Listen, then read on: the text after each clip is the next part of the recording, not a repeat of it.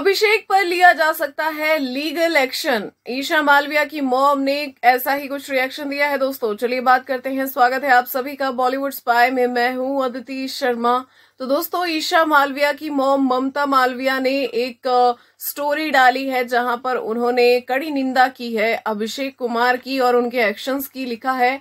ईशा को हर बार इस लड़के ने बेरहमी से कैरेक्टर एसिसिनेट किया है। मुझे भी नहीं बख्शा। ये गेम मेंटल स्ट्रेंथ का है। इतना ट्रोमेटाइज था तो पता था ईशा आने वाली है बिग बॉस में।